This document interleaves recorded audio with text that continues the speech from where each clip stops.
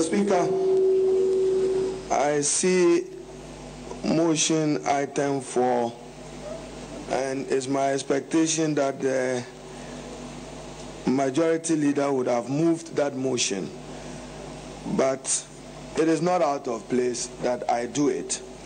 That this honorable house thanks His Excellency the President for the message on the state of the nation. We will do so, Mr. Speaker, as you rightly pointed out, but to remind the President that Parliament is not almost in the eighth uh, Parliament. The numbers we are certain, if Techiman is added, we would have a majority. And Mr. Speaker, we leave our fractured democracy in your hands. Conspicuously lost in your speech is the loss of lives in Techiman and other parts of Ghana.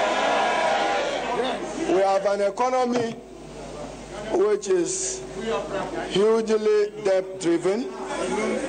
We have a bag of corn selling for 200 Ghana in Tamale, yet the economy in Ghana is doing well. We will thank you. We will thank you for serving Ghana well. I will not open the debate today. I will not open the debate today, but Mr. President, to remind you that peace must be predicated on fairness and justice. I thank you.